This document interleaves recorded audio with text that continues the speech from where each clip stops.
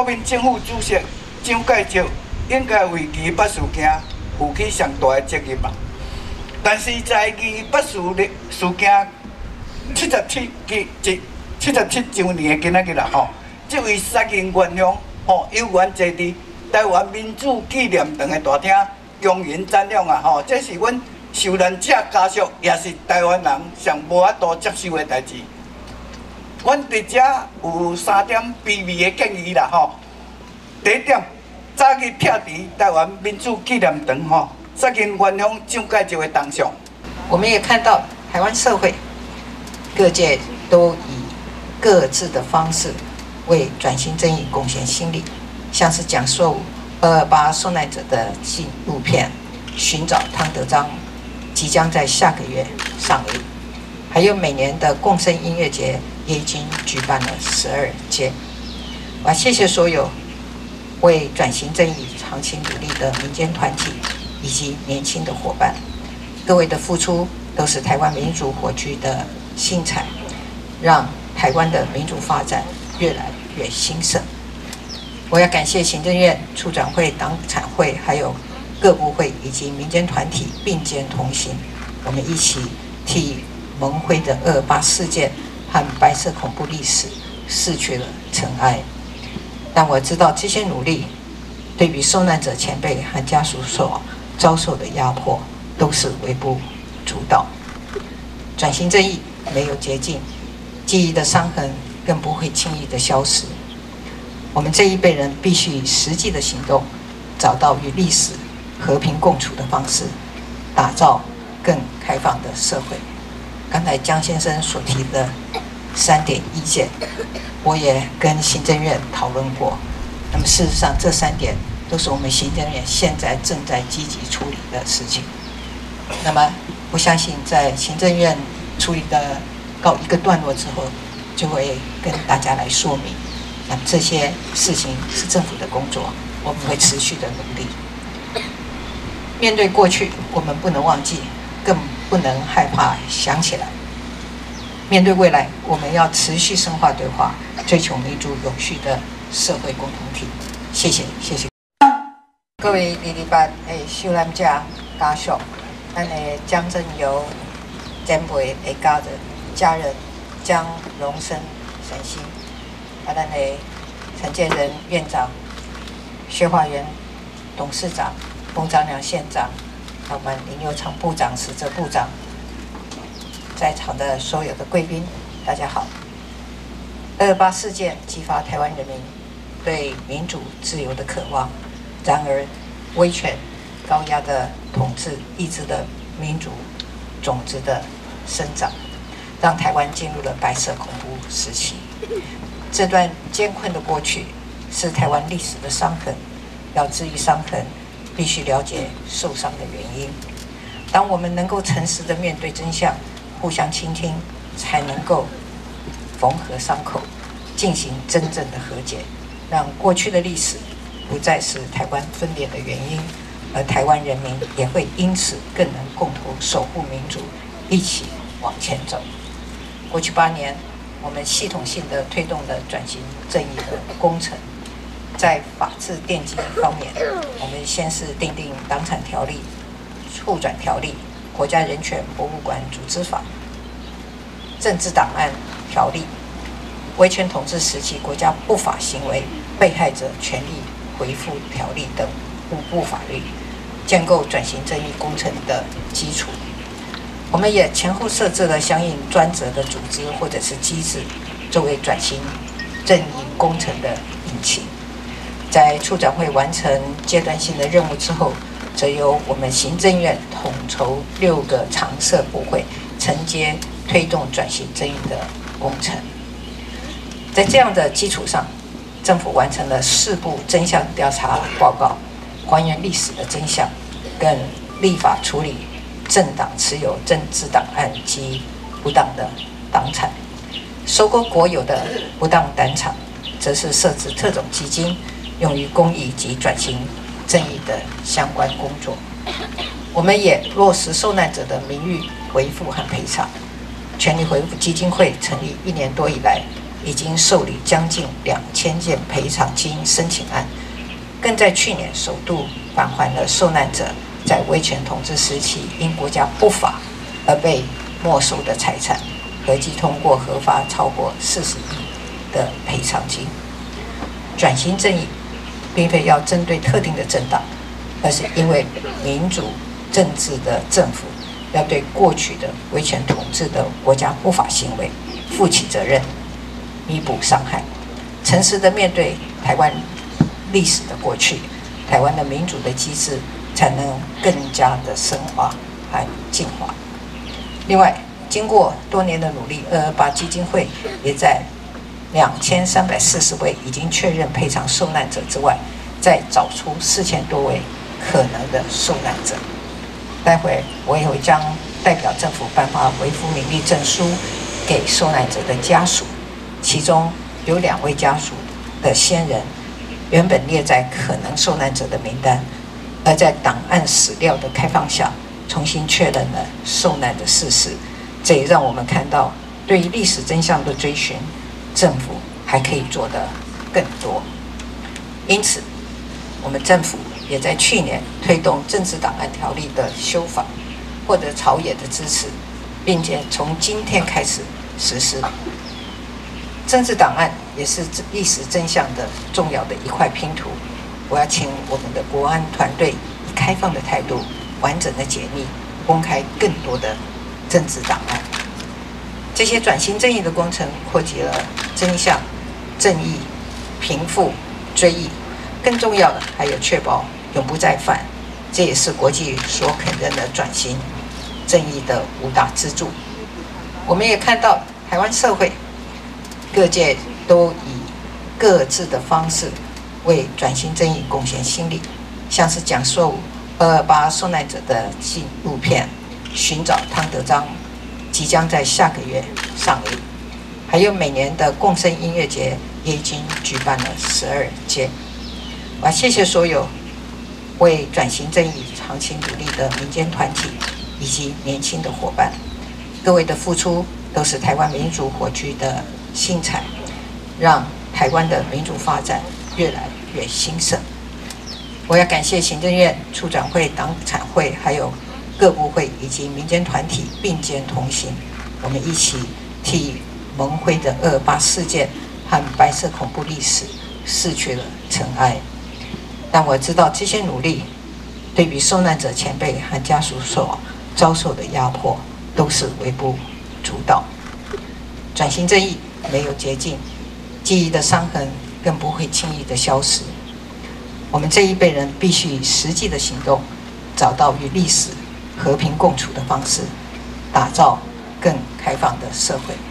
刚才江先生所提的三点意见，我也跟行政院讨论过。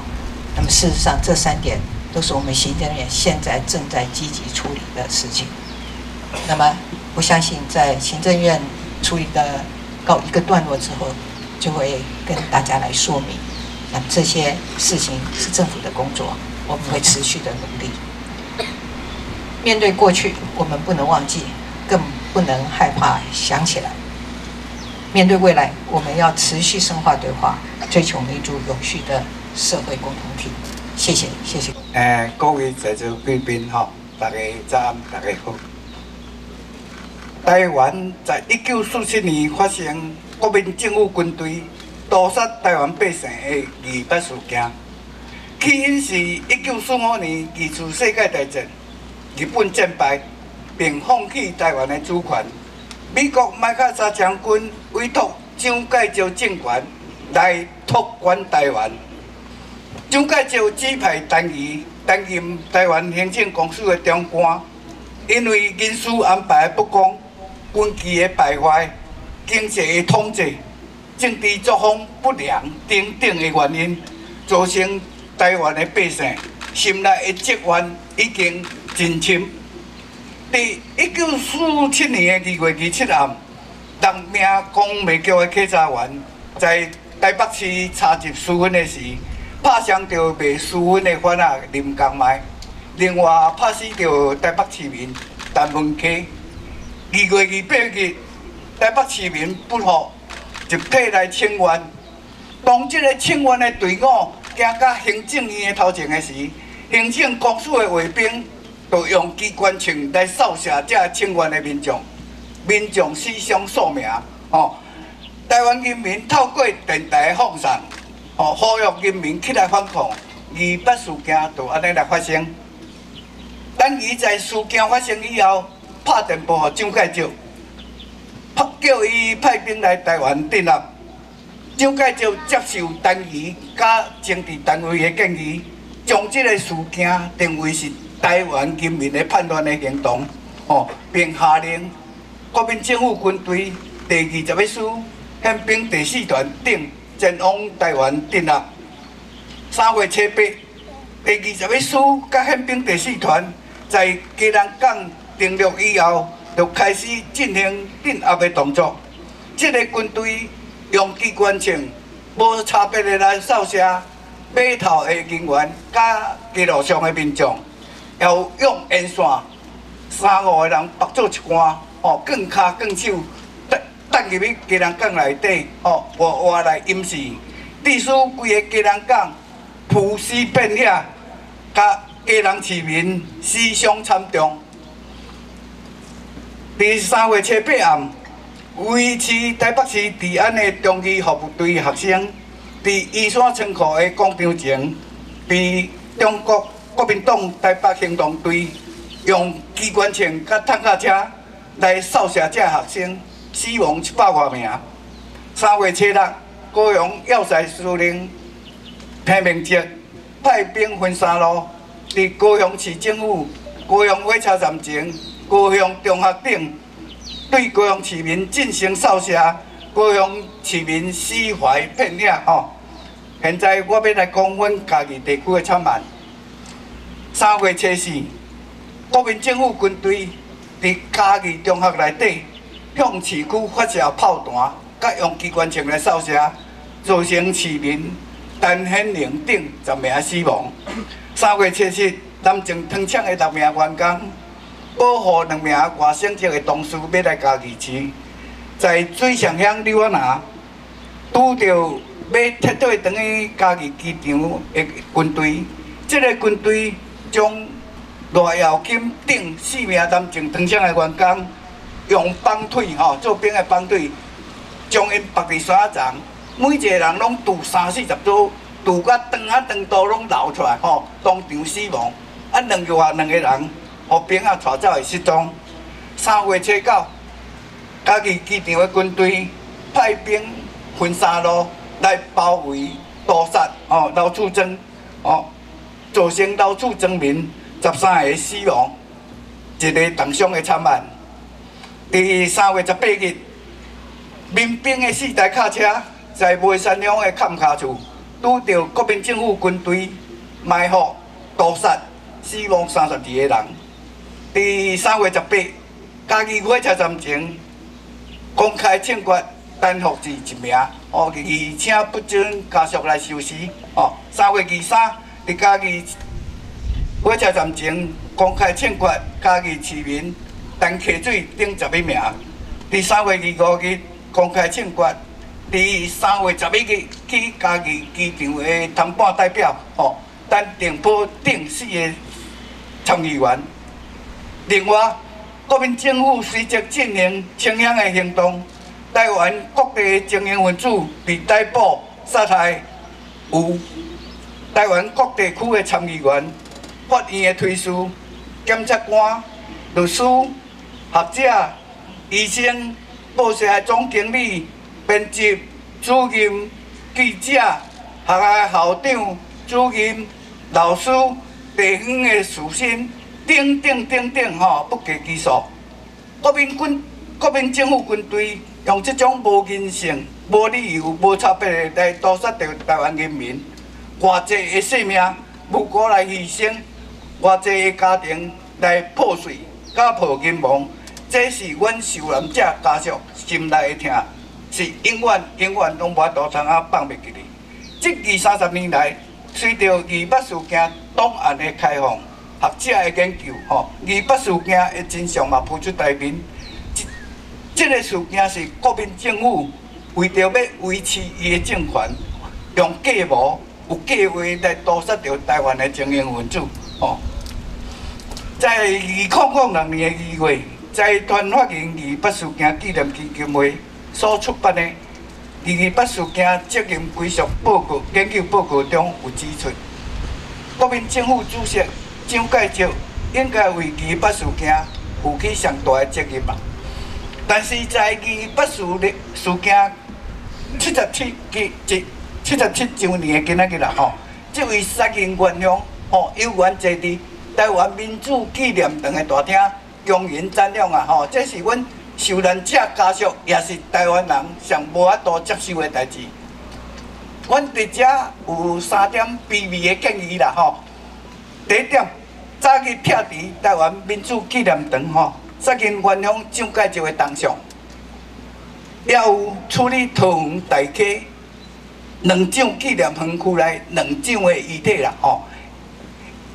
因为台湾人有一句俗语咧讲吼，死者为大，入土为安吼，伊毋死嘛影响伊的后世的子孙啦吼。所以讲，阮伫遮建议吼，请政府应该将这两句遗体吼，发现吼因的家属来安葬。第二点，阮建议政府爱追究二二八事件元凶的责任，哦，包括国民政府主席蒋介石、台湾行政公署的长官陈仪、台湾警备总司令部参谋长郭文芬、高雄要塞司令裴明哲、家人要塞司令苏宏义、第二十一师的师长刘武庆、宪兵第四团的团长张木道。等等的责任。第三点，将二八事件明确的记录在台湾的历史中啦，吼，并编入教科书，哦，让台湾的人民了解这段悲惨的历史。最后，阮希望这三点建议，希望会当早日来实现，促成台湾的转型正义，完成真正的社会的公义。以上，谢谢。